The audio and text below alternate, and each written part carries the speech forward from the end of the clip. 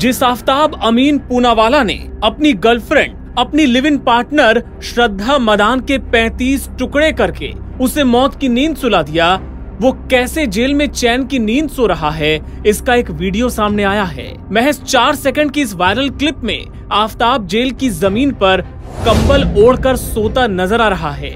उसके बगल में एक शख्स जगा हुआ बैठा है और उसे हैरत भरी नज़रों से देख रहा है।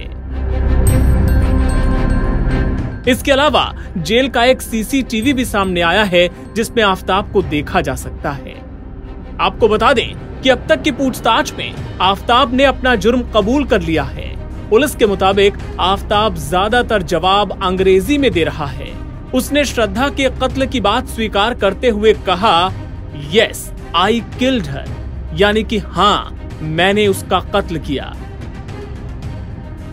लेकिन आफ्ताब की हरकतों से यह साफ़ लग रहा है कि उसे अपने किए पर कोई पछतावा, कोई अफसोस नहीं है। पुलिस की जाँच में यह खुलासा भी हुआ है कि जब घर में श्रद्धा के शव के कुछ टुकड़े मौजूद थे, उस दौरान उसने अपनी एक नई गर्लफ्रेंड को भी अपने घर बुलाया था। इसी से पता चलता है कि आफ्ताब को यकीन था कि वो श्रद्धा का कत्ल करके आराम से बच निकलेगा। बहरहाल, पुलिस अब आफ्ताब के खिलाफ सबूत जुटाने के काम में लग गई है। उसे हर उस जगह पर ले जाया जा रहा है, जहाँ उसने श्रद्धा के शरीर के टुकड़े फेंके थे। इस दौरान मीडिया ने आफ्ताब से कई बार सवाल करना चाहा, लेकिन वो चुप्पी साधे रहा।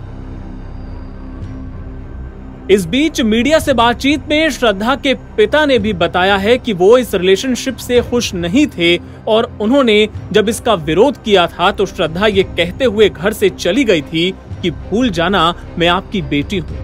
पिता को इस बात का अफसोस हो रहा है कि काश श्रद्धा ने उनकी बात मान ली होती तो शायद आज ज़िंदा होती। श्रद्धा के पिता चाहते हैं कि आफ्ताब के भी टुकड़े टुकड़े कर दिए जाएँ। उन्होंने कहा कि अभी तो जाँच चल रही है, अभी तक ये कंफर्म नहीं है कि उसने जो बताया वैसा ही हुआ, लेकिन अगर ऐसा हुआ है तो उसे फांसी होनी ही चाहिए।